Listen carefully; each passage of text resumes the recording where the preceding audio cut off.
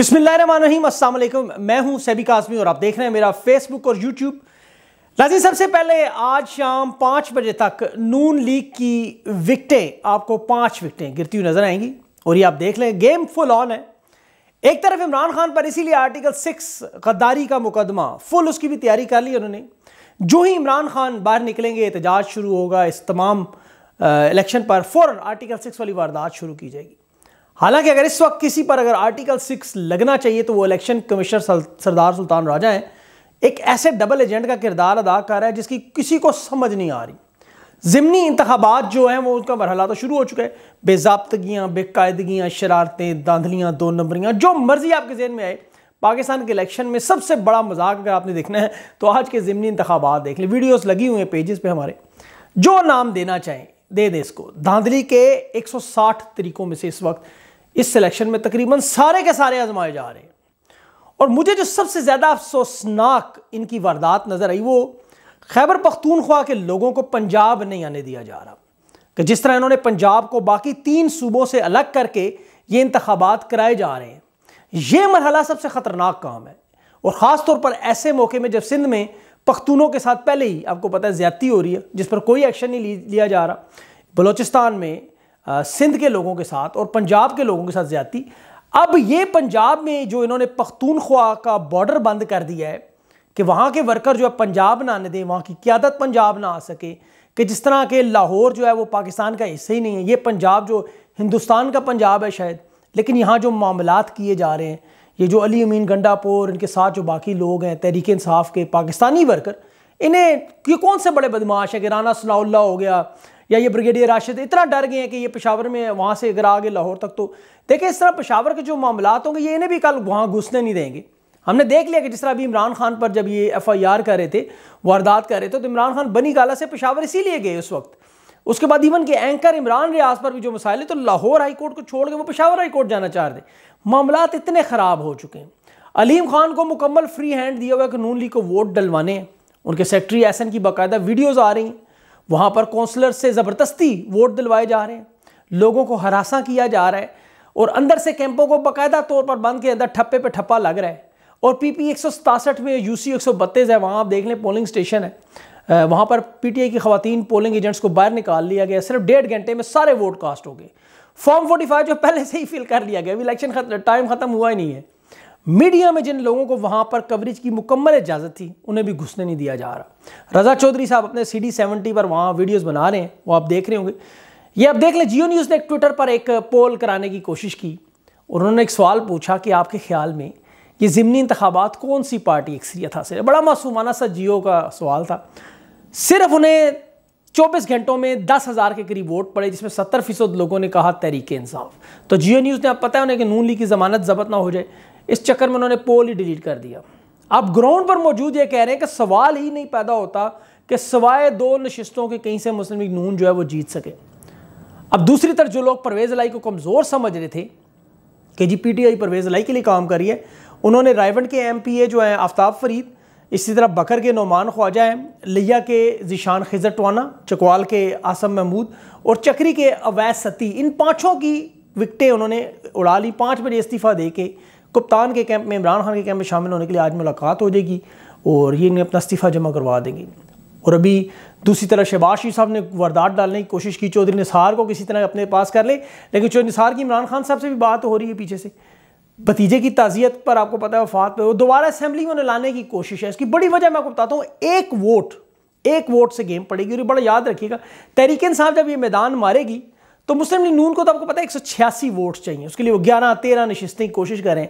लेकिन अब जून जूं इस्तीफे बढ़ते जाएँगे, उन पर प्रेशर बढ़ता जाएगा। मुस्लिम लीग नून पर प्रेशर क्योंकि उन्होंने प्रूव करना है। तहरीक साहब तो ऑलरेडी पहले से पोजिशन में। जफरुल्ला जमाली साहब का इलेक्शन आपको याद होगा, जिसमें वो एक कर्नल था पार्लियामेंट में, जिसने वो तमाम लोगों को मैनेज किया हुआ था। तमाम अरकान खरीदे हुए थे पावर में थे ब्लैकमेल हो रहे थे। वोट का वक्त आया तो जमाली साहब को एक वक्त वोट से सिर्फ़ फतह दिलवाई। हालाँकि वो चाहता तो वो भारी अक्सरियत से कर्नल उस वक्त दिलाता। लेकिन उसे पूछा गया तो उसने कहा, एक वोट से दिलवाने का मकसद यही है कि जमाली साहब हमेशा प्रेशर में रहें। हम जब चाहें इन पर प्रेशर डालें। उस पर मैं अभी तफसील से बताता हूँ उनको। इन्होंने भी कहा से आर्टिकल सिक्स तो जब चीफ पर लगा, उस पर मुशरफ साहब पर तो नवाज़ शरीफ साहब को कैसे वजी अजम बनने दिया? हम आर्टिकल सिक्स ही पहले मैं बात कर लूँ। मुशरफ साहब या तो झूठे थे या नवाज़ शरीफ झूठा था। मेमो गेट का मसला हुआ। मेमो गेट में अमेरिका का, कहा जाता जी कि हमारी फौज से जान छुड़ाएँ ये आसिफ अली जरदारी ने मेमो गेट थोड़ा सा बता दो, लोगों को पता नहीं। माइकल मोलन को उस वक्त लिखा था कि जी, तमाम जर्नेल जो हमारे जनरल कियानी हैं जनरल पाशा हैं, इन सब लोगों को आप फ़ारग करें। एक अदारा बनाएँ जो आईएसआई को कंट्रोल करे। अमरीकी फोर्सेस को पाकिस्तान में कहीं पे भी ऑपरेशन की इजाज़त होनी चाहिए। और उस वक्त जो आईएसआई का एक इदारा था सेक्शन एस उस वक्त था, जिस तरह आज फ्यूजन बना हुआ ना एक, उसके साथ उनका अफगानियों का एक बड़ा गहरा तलक था। उसको तोड़ा जाए मुंबई हमलों में जितने भी पाकिस्तानी मुलविस ख़ास तौर पर फ़ौज के अफसरान, उन्हें पकड़ा जाए एटमी प्रोग्राम की निगरानी के लिए अमेरिका को मुकम्मल रसाई दी जाए।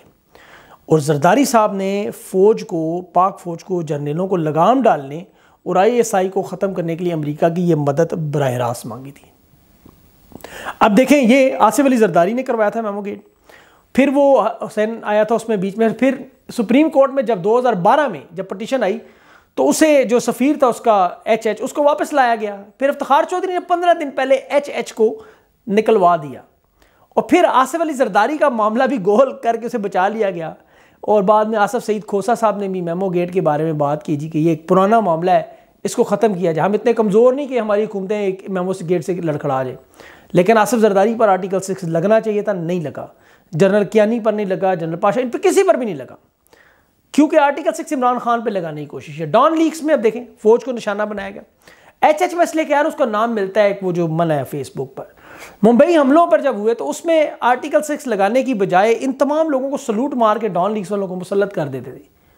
आप देख लें, उसमें जनरल राहील शरीफ उस वक्त जो आई एस आई का था जनरल रिजवान अख्तर थे, ये नवाज़ शरीफ की गैर रियासती अनासर या कालदम तंजीमों के मामले पर फौज पर बरह रास्त इल्ज़ाम थे कि ये इसके पीछे हैं, ये करवाते हैं सब कुछ। परवेज़ रशीद उस वक्त, फिर नवाज़ शरीफ साहब ने तमाम मामला में बरह रास्त नाम लेके कहा था कि ये लोग शामिल हैं, हमें अपना घर ठीक करना होगा। याद होगी आपको? ये तमाम हिंदुस्तान के मामला में, हिंदुस्तान के साथ उसको यारी दोस्ती कर रहे थे तो उन्होंने कहा कि सारे का सारा मामला, बाकायदा अब इनकी ऑडियो वीडियोज़ हिंदुस्तान के बड़े केसेस में, बड़ी इंटरनेशनल कोर्ट्स में पेश भी की जा चुकी हैं, सबूत के तौर पर। नवाशी साहब को सिर्फ़ पंजाब नहीं, फिर पूरा पाकिस्तान प्लेट में रख के दिया गया। ये ले जी आर्टिकल सिक्स तो दूर की बात है। अब सवाल पैदा था, क्यों इमरान खान? लोग नहीं मानेंगे। लोग पूछेंगे सवाल बार बार कि क्यों इमरान खान पे आर्टिकल सिक्स? जबकि ये सब लोग जजेस जनरल बाहर हैं। मिस्टर एक्स हों या मोहतरमा को ट्रिपल एक्स हों बेशक, उनके या हवारी हों, कानूनी इखलाकी तरीके से वोट से मामला हल करने की कोशिश पहले हो रही। वरना आप देखेंगे कि फिर ये दमादम मस्त कलंदर इसी तीन चार दिनों में हो जाएगी।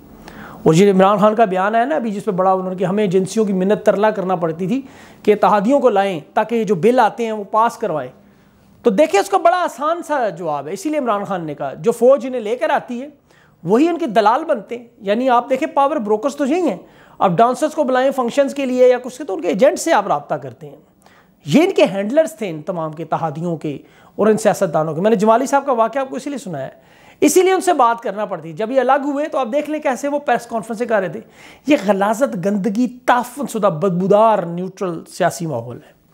उन्नीस सौ सतासी में हिंदुस्तान के एम्पायर जब इसी तरह बेमानी करते थे, पता नहीं बहुत सारे लोगों को याद ना हो एल बी डब्ल्यू नहीं दे रहे, साफ़ कैचेस पड़ रहे, साफ़ अंपायर पीता जा रहा था, वो बेमानी की इंतहा कर दी थी उस सतासी में जो टेस्ट मैच था। एक वक्त था कि खिलाड़ी अंपायर के बिल्कुल करीब थे और विकेट निकाल कर उसको फेंटा देना चाहते इमरान खान, उसको कप्तान तो ये रोका। कि यार ये ना करें। मैंने वो हाईलाइट्स देखे उस दिन। लाहौर के इंतबात में बिल्कुल यही गेम हो रही है। फौज के brigadier Rashid Tanveer X brigadier Y Z ये सारे जो है इस वक्त एम्पायर बने हुए हैं और ये यही गेम कर रहे हैं। और अगर अवाम निकल आई तो फिर इस दफ़ा इमरान खान भी रोक नहीं सकेंगे उन्हें। ये मैं आपको बता दूँ, क्योंकि ये लोग क्या कर रहे हैं? देखिए, हर असासे अपने, दोस्तियाँ, अपने ममालिक के साथ चीन हो, रूस हो, चाहे अब तमाम की तमाम बातें आई एम एफ़ की मानी जा रही हैं। शहबाज शरीफ ने खुद गारंटी दी है कि चीन के साथ जितने मनसूबे होंगे, देखें आज की खबर है, नया रेट लगाएँगे, पिछले पैसे उनके वापस नहीं करेंगे जो देने हैं। तो वो फिर कंपनियाँ आपके साथ क्या करेंगी? ईरान के साथ, अफ़गानिस्तान के साथ, तमाम मामला तनहाई का शिकार पाकिस्तान को बुरी तरह कर चुके हैं दोस्तों से। और पुरसरार दोस्त एक बना लिया उन्होंने। अब ज़रूरी है पुरसरार दोस्त ने कहा, इलेक्शन जीते पहले। मिफ्ता इसमाइल बड़े पुरजोश है उन्हें देखें आईएमएफ का प्रोग्राम मिलने जा रहा है। लेकिन उन्होंने कहा, जी, हमारा पुरसरार एक दोस्त हमें डेढ़ अरब डॉलर तोहफे में देगा। अब ये एक अशर दो अरब की तेल की मद में कीमत, और फिर वो दोस्त, इतना गहरा दोस्त है इनका पुरसरार दोस्त, कि उन्होंने डेढ़ से दो अरब इनकी जो स्टॉक एक्सचेंज उसमें भी लगाने को तैयार आया था कि डॉलर का रेट गिरे। अब ये पुरसरार दोस्त ही ने कह रहा है कि ये इलेक्शन भी आपने जीतना है हर सूरत में, वरना मदद शदत कोई नहीं है। कल मीटिंग हुई है उस दोस्त की, सऊदी अरब कह लें उसे आप। कल उसकी मीटिंग हुई है जो बाइडन से। तो उन्होंने कहा है डॉन की अखबार में आप ये खबर पढ़ सकते हैं, जिसमें खुद हुकूमत ने कहा है कि हमारा पुरसरार दोस्त हमें ये पैसे देने को तैयार है। लोगों को आपने चिड़िया समझा हुआ है। कल अमरीकी सदर की मोहम्मद बिन सलमान से गुफ्तु होती है। आप देखें, सारे कहानी के मोहरे कहाँ पर आपको जुड़ते हुए नज़र आते हैं। ये कोई रॉकेट साइंस नहीं है जो किसी को समझ आए। तो बच्चा बच्चा जी शूर है पाकिस्तान में, जानते हैं। यही वारदात अरब अमारात में हुई थी। उसके बाद जहाँ जहाँ उन्होंने रजीम बदली वो इसी तरह की वारदात करते हैं उसके बाद। लोग कहते जी, बाइडन को पाकिस्तान की क्या ज़रूरत है? वहाँ मीशत को जब तक ये लोग आई एम एफ़ जैसे इदारे पाँचवीं दुनिया की ताकत है, आप पाँचवा बड़ा मुल्क है दुनिया का। सऊदी अरब की मीशत को तो नहीं वो हिलाएँगे, वहाँ तो उन्हें आई एम एफ़ की ज़रूरत नहीं है। आई एम एफ़ पे तो आप पाल रहे हैं, या न्यूट्रल पाल रहे हैं। इन्हें आप इन लोगों की मीशत तबाह करनी है। तीसरी दुनिया के ममालिक जो उनके जेर तसलत रहे आज तक ये लोग क्यों नहीं ईरान पर काबू पाते? क्यों नहीं? इसीलिए कि वहाँ पर आईएमएफ का कोई प्रोग्राम नहीं है, कोई कर्जे के तसलत नहीं है। पाकिस्तान में बाईस मरतबा आई एम एफ़ के प्रोग्राम इस्तेमाल हो चुके हैं। ये कहते हैं, जी बाइडन मज़ाक कर रहे हैं, जी बाइडन बात कर रहे हैं, जी, पाकिस्तान के बारे में। मिलिट्री डिक्टेटर अपना माल बना लेते हैं। आप रजा बाकर साहब का आज का कालम पढ़े, अखबार में आपको आइडिया हो जाएगा क्या कह रहे हैं। किस तरह ये लोग मीशत तबाह करके आप लोगों को अपने घुटनों पर ला के फिर जो चाय करवा लेते हैं? और क्यों ये सारे के सारे जितने भागते हैं, चोर सारे डाकू, पूरी दुनिया में हुक्मरान सीधे के सीधे जद्दा पहुँच जाते हैं। क्यों सऊदी अरब उन्हें बना देता है? अपने क्यों उनके घर बना के देते हैं इतना? उनके लिए क्या? उन्हें क्यों यूरोप ले लेते? कोई और वहाँ जा, लंदन क्यों निकल जाते हैं? ये लोग उन्हें पना देते हैं, जिन पर मनी लॉन्ड्रिंग के सारे केस। ये सारी बातें हैं, आप समझते हैं। लेकिन आज इलेक्शन बड़ा अहम है। अगर आज आवाम की राय को तस्लीम किया गया, जिस तरह लोग बता रहे हैं ग्राउंड पर जो मौजूद है, ये देखिए इतने बड़े इलेक्शन है, बीस सिर्फ़ ज़मीनी इंतबात हैं। लोग पोलिंग स्टेशन गिने चुने लोगों को पता है सारे। इलाके में लोगों के वोट हैं। लेकिन यहाँ पे जो गेम और वारदातें डाली जा रही हैं ताकि किसी तरह तरीके से जीत ना सके बस तो फसाई रखें सारा मामला। क्योंकि इन्होंने करना है, सबको पता है। लेकिन इस दफ़ा इनके हालात एक्सपोज हो गए। और अगर इस दफ़ा आवाम निकल आई, जो टर्न आउट बहुत कम है, गर्मी की वजह से बहुत सारे मसाइल में। क्योंकि नून लीग का वोटर बाहर नहीं निकल रहा, उनका प्रोटेस्ट एहतजाज यही है कि हम बाहर ही नहीं जाते वोट ही नहीं डालते। लेकिन उसके साथ साथ ये मायूसी जो फैलाई जा रही है कि ये लाजमी इलेक्शन मैनेज हो चुका है, जीत चुके हैं, उस वजह से भी कुछ लोग जो है वो कह रहे हैं, जब इन्होंने जीतना ही है तो हम क्यों अपनी वोट ज़ाया करें? लेकिन आप वोट ज़रूर डालें। देखें इन अल्लाह बेहतर करेगा। आने वाले दिनों में, नहीं तो अगले एक हफ़्ते के अंदर अंदर बहुत सारी अहम मामला जो हैं वो होने जा रहे हैं। इन उस पर हम बात करेंगे। अपना ख़ास ख्याल रखें। मुझे इजाज़त दें। अल्लाह हाफ़